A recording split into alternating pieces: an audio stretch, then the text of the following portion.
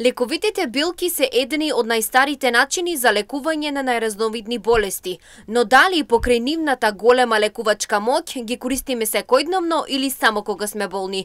Научно е докажано дека чаевите можат да ја подобрат вкупната состојба на организмот и да го спречат настанувањето на многу болести. Мајчин душица највише е конзумира. Јадам со леп со неа, ми е поубава таа или бат горска оваа што е сечињата што се што има планинските што се сега ошерано е.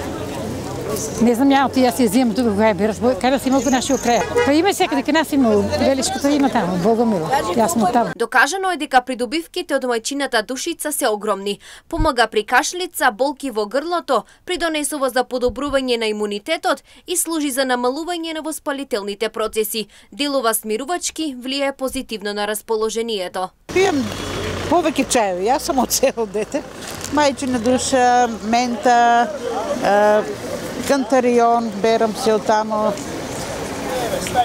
Кој други ги пиеше? Имам повеќе чајби. Од Бозел пием.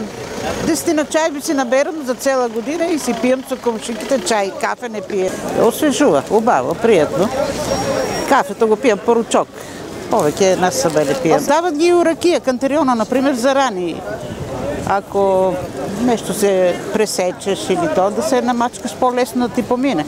Кантерионо највеќе де етерични масла ли што има, највеќе се користи за тоа и тоа. Не, нането се употребува и во јадење. Бавчите, ги го има и го има почесто, само зимниот период го нема. Не, имаме го и го сушеме за зимно време, за во гравче, во јадење. Во некои земји чајот е повеќе од пијалак. Тој е ритуал кој има лично и обштествено значење. Во македонската култура, моќта на билките длабоко присутна во традицијата.